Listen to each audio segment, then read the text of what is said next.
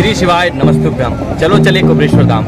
तो दोस्तों, मैंने पहली वीडियो में जैसा कि आपको बताया था कि ट्रेन से आप कैसे पहुँच सकते हैं, और अब बताने जा रहा हूँ कि दिए रुके बस स्टैंड से आप कुबरेश्वर धाम कैसे पहुँच चलो चले कुबरेश्वर धाम के इस अध्याय में, मैं आपको पूरा सीहोर का बस स्टैंड घुमाऊँगा, जिसमें मैं आपको दिखाऊँगा कि कहाँ हम किस तरह से, किस बस से और किस तरह, किस रास्ते से कुबरेश्वर धाम पहुँच सकते हैं।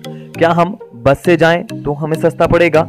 क्या हम ऑटो से जाएँ तो हमें सस्ता पड़ेगा, या हम यहाँ से टैक्सी लें जिसके माध्यम से हम वहाँ पहुँचें तो हमें उसके माध्यम से सस्ता पड़ेगा? तो कौन सा रास्ता हमारे लिए सही होगा, कौन सा वाहन हमारे लिए सही होगा, ये सब मैं आज आपको बताऊँगा हम पहुँच चुके हैं सीहोर के बस स्टैंड पर, आप देख सकते हैं, जहाँ भोपाल, इंदौर आष्टा जाने के लिए, इछावर जाने के लिए बसें हैं। यहाँ से आपको जाने के लिए आष्टा की जो बस है, उसमें बैठना होगा।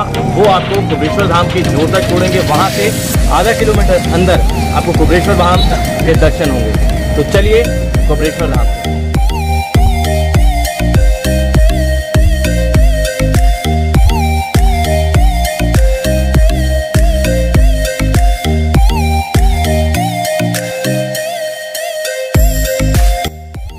दोस्तों, जैसा कि आपको पता है कि मैं आपको हर एक जानकारी देता जा रहा हूँ, वैसे ही हम यहाँ बस स्टैंड से निकल चुके हैं और बस स्टैंड से धीरे धीरे मैं आपको सभी रास्तों की जानकारी देते हुए और सभी रास्तों के बारे में विस्तार पूर्वक बताता जाऊँगा एवं कौन सा रास्ता कहाँ जाता है और क्या पड़ता है, हमें रास्ते में क्या क्या महत्वपूर्ण चीज़ें हैं क्या क्या होता है, वो सब बताऊँगा।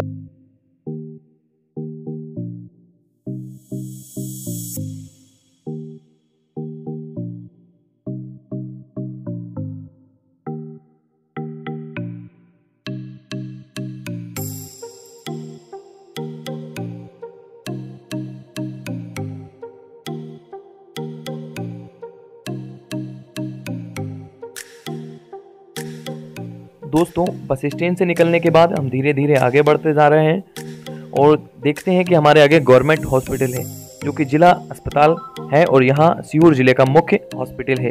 इससे आगे हम धीरे धीरे बढ़ते जाएँगे।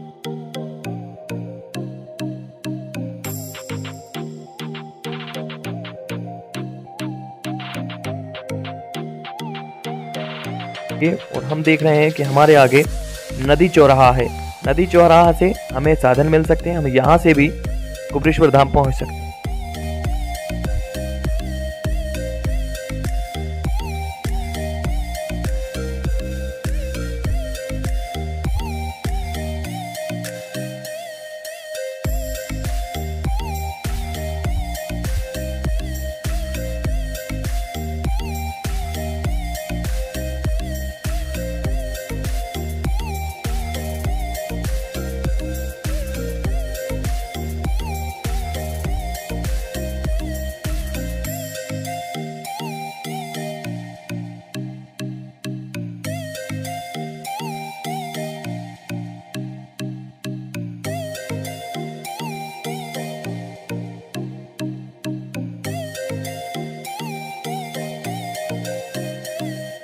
दोस्तों, बस स्टैंड से हमने हमारी जर्नी स्टार्ट की थी। बस स्टैंड से हम धीरे धीरे आगे बढ़ते हुए पुनः इंदौर नाका पहुँच चुके हैं और इंदौर नाका से हम धीरे धीरे आगे बढ़ेंगे। तो हम थोड़ी दूर पर मंत्री पेट्रोल पंप पहुँच जाएँगे। अगर हम अपनी खुद की बाइक से आते हैं तो हम मंत्री पेट्रोल पंप पर अपनी पेट्रोल की टंकी को फुल कराते हुए फिर पुनः आगे बढ़ेंगे धीरे धीरे दोस्तों, मंत्री पेट्रोल पंप पार करने के बाद हम धीरे धीरे चौपाल सागर की ओर बढ़ेंगे। चौपाल सागर के रास्ते के लिए हमें थोड़ा इंतज़ार करना पड़ेगा। मंत्री पेट्रोल पंप से चौपाल सागर थोड़ा दो चार किलोमीटर आगे पड़ेगा। चौपाल सागर पहुँचने के बाद हम धीरे धीरे मेन हाईवे पे पहुँच जाएँगे, जहाँ से हमें कुबरेश्वर धाम के लिए सीधा रास्ता मिल जाए।